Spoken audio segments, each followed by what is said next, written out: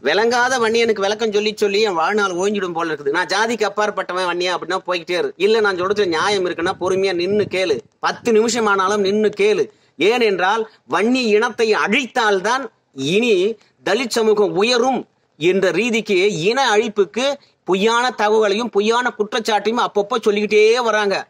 வன்னியர்களை அழிச்சா கூட தப்பு கிடையாது என்ற மனநிலையை தமிழக மக்களுக்கு உருவாக்கிட்டு வராங்க. ஹிட்லர் அதையா செஞ்சான் யூதர்கள் ஜெர்மனுடைய வளர்ச்சிக்கு தடையா இருக்கிறாங்க. அதனால வந்து யூதர்களை ஃபுல்லா அழிப்பேன் அப்படின்னு இனத்தை அழித்து ஒழிச்சான். இப்ப தலித்தனுடைய வளர்ச்சிக்கு தடையாக இருப்பது வன்னியர்கள். அதனால வன்னியர்களை அழிச்சாலும் பரவாயில்ல அப்படின்னு பல பொறுப்பட்ட அரசியல் தலைவர்களும் உருவாக்கிட்டு வராங்க. அது எப்போதெல்லாம் வன்னியர்கள் வந்து தப்பானவர்கள்னு காட்ட முயற்சி பண்ணிட்டு இருக்காங்க அப்படின்னு வரிசையா நான் சொல்லிட்டு வரேன். ஒன்றும் இல்லை வட மாவட்டத்தில் எப்போ பிரச்சனை நடந்தாலும் சரி புரியுதா? அதுக்கு வன்னியர்கள் தான் அப்படின்னு சொல்லி குற்றஞ்சாட்டு பண்ண வேண்டியது. இல்ல ஜாதி ரீதியா தலித்துகளை கிளப்பி உடைய வேண்டியது. அதன் மூலயமாக பல ஜாதி வெறி தலைவர்களுடைய அரிப்பை அதன் மூலம் தீர்த்துக்க வேண்டியது. ஒண்ணும் இல்லைங்க. மெத்த படித்தவருங்க நம்முடைய ரவிக்குமார் எம்பி அவர்கள் விடுதலை சிறுத்தை கட்சியினுடைய பொதுச் செயலாளர் இருக்காரு அவர். புரியுதா இல்லையா? சமூக வலைத்தளங்க தவறா ஒரு செய்தியை பதிவிட்டு இருக்காருங்க இது நியாயமா அது? உண்மை எது பொய் எதுன்னு தெரியாம உடனடியாக வந்து கருத்து தெரிவிக்கிறேன் அப்படின்னு சொல்லி மற்ற சமுதாயத்து மீது வன்மத்தை வாரி இழைச்சிருக்காரு. என்னன்னு தானே கேக்குறீங்க நீங்க? நீங்களே பார்த்துருப்பீங்க. நானும் இதை சொல்றேன் பாருங்க. விழுப்புரம் மாவட்டத்தில் பதினான்கு வயது சிறுமி எரித்து கொன்றவர்கள் பயங்கரவாதிகளாக கருதி கடுமையாக தண்டனை தரணும். நியாயமானது. அப்புறம் நியாயமற்றது ஒன்று சொல்றாரு. தமிழகத்தில் ஆதி திராவிடர்கள் மீது அதிகரித்து வரும் வன் கொடுமங்களை தடுக்கும் விதமாக சாதி வெறியர்களை இரும்பு கரம் கொண்டு ஒடுக்கணும் அப்படிங்கிறார். விழுப்புரம் மாவட்டத்தில் நடந்து என்ன பிரச்சனைங்க அது? அவங்களுக்குள்ள இருக்கிற முன்விரோத பகை. அதனால ஒரே ஜாதிக்காரங்க அதனால கொடூரமாக அந்த பெண்ணை எரித்து கொன்றாங்க. இதுல மற்ற சமூகம் எங்க சார்ந்து இருக்குது? இதுல எங்க சாதி வரியர்கள் சொல்றதுக்கான அவசியம் இருக்குது. தவறான ஒரு ஒரு முன்பதிவு முன் விஷயத்தை தலித் மக்களிடையே எழுப்புறாங்க. புரியுதா? வன்னியர்கள் என்றாலே தலித்துக்கு தப்பு பண்றவங்க தான் அப்படின்னு காட்ட முயற்சிக்கிறாங்க. தமிழ் சமூகம் வன்னியர்கள் இல்லைனா தான் தலித்துகள் உயர்வாங்க அப்படின்னு ஒரு எண்ணத்தை உருவாக்குறாங்க. ஹிட்லர் எப்படி யூதர்களை கொன்றார்களோ அது போல தமிழக மக்கள் வன்னியர்களை கொன்றா தான் வந்து தலித்துகள் எழுவாங்க அப்படின்னு சொல்ற மாதிரி எழுதிட்டு போயிருக்காரு இவரு. ஒரு பொறுப்புள்ளவர் தானே. இந்த மாதிரி இருக்கிறவங்க எழுதும் போது நம்ம நெஞ்சில் பக்கு பக்குன்னு ஐயோயோ இந்த மாதிரி நிலை ஒண்ணுமாயிடுமோ அப்படின்னு ஒரு அச்சம் இருக்கு. இதைத்தான் நான் சொல்ல வரேன். ரெண்டாவது இன்னொரு விஷயம் இவங்க இப்போ மட்டும் பழி சொல்லிக்கிட்டே இல்லைங்க. கடலூர் மாவட்டத்தில் பரலு பரதலூர் அப்படின்ற ஒரு கிராமத்தில் ஒரு தலித் பெண் வந்து வன்கொடுமை செய்யப்பட்டு கொலை செய்யப்பட்டாங்க. அந்த கொலை செய்தவர் மணிகண்டன் என்ற தலித் இளைஞரே தான்.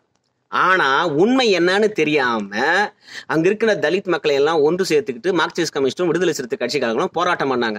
வன்னியர்கள் தான் இதை செய்தார்கள். அவர்கள் எஸ்சி எஸ்டி வன்கொடுமை சட்டத்தில் கைது பண்ணணும்.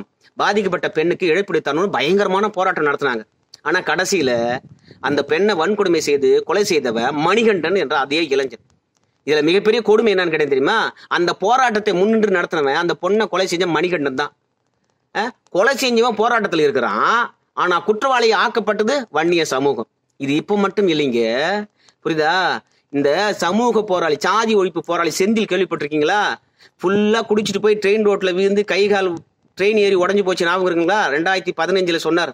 உங்களுக்கு ஞாபகம் இருக்குன்னு நினைக்கிறோம் அந்த ஆள் ஒன்றும் உத்தமம் கிடையாது. ரெண்டாயிரத்தி பன்னிரெண்டுலயே வந்து பள்ளி மாணவர்கள் இதை வம்பு இழுத்ததாக சொல்லி அவரை ஜெயிலில் போட்டு அடைச்சி வந்தான். ஆனா அவர் தான் ஜாதி ஒழிப்பு போராளி. அவர் என்ன சொன்னாரு? நவீனா என்ற கடலூர் மாணவி இருக்கா இல்லையா? அந்த மாணவி அந்த பாவியை ரெண்டாயிரத்தி பதினாறுல எரித்து கொண்டுட்டான் ஆனா அவன் சொன்ன பொய் என்னன்னு கேட்டீங்கன்னா நவீனாவுடைய மாமாவும் அண்ணன் தம்பிகளும் தான் என் பொண்ணை என் காதலிக்கிற? எங்க தங்கச்சி என் காதலிக்கிற? அப்படின்னு சொல்லிட்டு என் கையை காலை வெட்டிட்டாங்க அப்படின்னு இதே மார்க்சிஸ்ட் கம்யூனிஸ்ட் கட்சி இதே விடுதலை சிறிது கட்சி இதே தலித்திய மக்கள் எல்லாம் ஒன்று சேர்ந்துக்கிட்டு குயோ முறையன்னு கத்தினாங்க. போராட்டம் பண்ணாங்க. இது உண்மைன்னு நினைச்சுக்கிட்டு புதிய தலைமுறை தொலைக்காட்சியும் வந்து பார்த்தீங்கன்னா வாதம் பண்ணுச்சு. வன்னியர்களையும் அங்கே வன்னிய மக்களையும் அங்கே வந்து ஒரு குற்றச்சாட்டு பொய்யான குற்றச்சாட்டு வச்சு இந்த சமூகம் தலித்துகளுக்கு எதிரானது காட்ட முயற்சி பண்ணாங்க. ஆனா அந்த பாவி என்ன பண்ணா தெரியுமா? அவனுக்கு முப்பது வயசு. நவீனாவுக்கு பதினஞ்சு வயசு. போய் தம்பி வீட்டில் இருக்கும்போது நவீனா வீட்லயே போய் எரிச்சு கொண்டுட்டு வந்துட்டான். புரியுதா? அன்னைக்கு சமூக போராளி என்று சொல்றவங்க யாருமே அதுக்காக போராடல. பொய்யா சொன்னான் வன்னியர்கள் வந்து என் கையை காலை வெட்டிட்டாங்கன்னு. அதுக்கு டிவி விவாதம் பண்ணாங்க. எல்லாரும் போராட்டம் பண்ணாங்க. அதுக்கு இழப்பீடு தரணும்னு சொல்லிட்டு எல்லாம் கோரிக்கை வச்சாங்க சாமி. அதே மாதிரி தான் திலகவதி கருவேப்பிலம் குறிச்சியில் ஒரு காமக்கடூரன் குத்தி கொலை செய்யப்பட்டான். இதே ரவிக்குமார் ஐயா தான் போய் அவனுக்கு நல்லவனு சர்டிஃபிகேட் கொடுத்தாங்க. இது நியாயமா? அந்த பெண் ஏதோ இது பண்ணி. அதே மாதிரி நுங்கம்பாக்கம் ரயில்வே ஸ்டேஷன்ல வந்து சுவாதியை வத்தி ஒருத்தன் ராம்குமார் வெட்டி கொன்னான். அவன் புனிதனா அவன் நல்லவனா ஆனால் சுவாதி தான் அல்கொய்தாவுக்கு தொடர்புள்ள பொண்ணாவோ அப்படின்னு இந்த இதே ரவிக்குமார் அவர்கள் தான் சர்டிஃபிகேட் கொடுத்தார். புரியுதா? எங்க போனாலும் சரி இந்த பிரச்சனை இதோட ஒழிவது கிடையாது. இதே கடலூர் மாவட்டத்தில் ரெண்டு சிறுவர்கள் தேங்காய் அறுத்துட்டு நைட்டில் போகும்போது ஆற்றுல விழுந்து இறந்துட்டாங்க. நீச்சல் தெரியாதனால உடனடியாக இதே தலித் மக்களை பொய்யை கலப்பி மிகப்பெரிய போராட்டம் பண்ணி அந்த தேங்காய் தோப்பு ஓனர் தான் வந்து அவங்க ரெண்டு பேரையும் கொண்டுட்டாங்க சொல்லிட்டு அவர் எஸ்டி எஸ்சி பிரிவில் கைது பண்ணி உள்ள போடணும்னு சொல்லி இழப்பீடு கொடுக்கணும்னு சொல்லி போராட்டம் பண்ணாங்க. கடைசியில பார்த்த விசாரணை பண்ணும்போது அவருக்கு நீச்சல் தெரியாம தான் அங்கே விழுந்து இறந்துட்டாங்க அப்படின்னு உண்மையாச்சு.